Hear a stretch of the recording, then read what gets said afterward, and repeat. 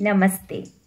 आज संस्कृति का झरोका पे मैंने पूर्व वीडियोस में आपको बताया था ना कि हिंदू धर्म में जो विवाह संस्कार होता है, एक अत्यंत ही महत्वपूर्ण धार्मिक और सामाजिक संस्कार माना जाता है, जिसके अंतर्गत वर और वधु अग्नि को साक्षी मानकर वचनों द्वारा जीवन भर के संबंध में बन जाते हैं।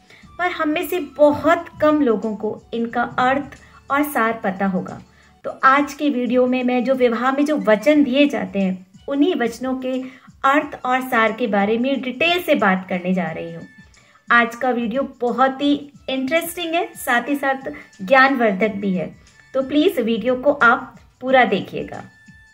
प्रथम वचन में कन्या अपने भावी वर से कहती है कि यदि आप कभी भी तीर्थ यात्रा को जाओ तो मुझे भी अपने संग लेकर जाना। कोई भी यज्ञ, कर्म, व्रत, उपवास अथवा अन्य धर्म कार्य आप करें तो आज की भांति ही मुझे अपने वाम अंग में अवश्य स्थान दें। यदि आपको मेरा ये कथन स्वीकार है तो मैं आपके वामांग में आकर आपकी अर्धांगिनी बनना स्वीकार करती हूँ। कन्या वर से दूसरा वचन मांगती है कि जिस प्रकार आप अपने माता पिता का सम्मान करते हैं उसी प्रकार मेरे माता पिता का भी सम्मान करेंगे। तथा कुटुंब की मर्यादा के अनुसार धर्मानुष्ठान करते हुए ईश्वर भक्त बने रहेंगे। यदि आपको मेरा यह वचन स्वीकार है तो मैं आपके वामांग में आकर आपकी अर्धांगिनी बनना स्वीकार करूँगी। तीसरे वचन में कन्या अपने भावी पति से कहती है कि आप मुझे ये वचन दें कि आप मेरी जीवन की तीनों अवस्थाओं अर्थात युवावस्था, प्रौढ़ावस्था तथा वृद्धावस्था में मेरा पालन पोषण करेंगे, मेरी देखभाल करेंगे। तो ही मैं आपके वामांग में आकर आपकी पत्नी बनना स्वीकार करूँगी।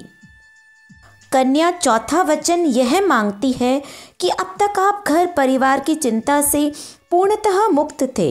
अब जबकि आप विवाह बंधन में बंधने जा रहे हैं तो भविष्य में हमारे परिवार की समस्त आवश्यकताओं की पूर्ति का दायित्व आपके कंधों पर है। यदि आप इस दायित्व को वहन करने की प्रतिज्ञा करें तो ही मैं आपके वामांग में आ सकती हूँ। पाँचवें वचन में कन्या कहती है कि यदि आप घर के कार्यों में, लेन देन में अथवा अन्य किसी भी कारण से धन खर्च करते हैं तो उस समय यदि आप मेरी भी मंत्रणा या सलाह लिया करें तो मैं आपके वामांग में आकर आपकी पत्नी बनना स्वीकार करती हूँ। यह वचन पूरी तरह से पत्नी के अधिकारों को दर्शाता है। पति को पत्नी का सम्मान करते हुए किसी भी घर के कार्यों में उससे सलाह, बातचीत करनी चाहिए, ताकि पत्नी को अपने अधिकार और सम्मान की संतुष्टि का आभास हो। षष्टम वचन में कन्या कहती है कि यदि मैं अपनी सखियों अथवा अन्य स्त्रियों के साथ बैठी हूँ, तब आप वहाँ सबके सम्मुख किसी भी कारण से मेरा अपमान नहीं करेंगे, तथा आप जुआ अथवा अन्य किसी भी प्रकार के दुर्व्यसन से अपने आप को दूर रखेंगे तो ही मैं आपके वामांग में आना स्वीकार करती हूँ। सातवें अर्थात अंतिम वचन के रूप में कन्या यह वर मांगती है कि आप पराई स्त्रियों को माता के समान समझेंगे और हम पति पत्नी के आपसी प्रेम के मध्य किसी को भागीदार नहीं बनाएँगे। यदि आप यह वचन मुझे दे तो ही मैं आपके वामांग में आना स्वीकार कर, आपकी पत्नी बनना स्वीकार करूँगी। अगर हम एक सच्चे हिंदू हैं और विवाह को एक जन्म का नहीं जन्म जन्मांतरों का रिश्ता मानते हैं तो अग्नि के समक्ष दिए गए इन वचनों को हमें पूरे मन और पूरी श्रद्धा से निभाने का प्रयास करना चाहिए। कई हिंदू महिलाओं को अपने अधिकारों के बारे में पता ही नहीं होता। तो मुझे लगता है ये वीडियो उनमें जागरूकता लाएगी। अगर आपको भी ये वीडियो पसंद आती है तो आप भी शेयर कर सकते हैं।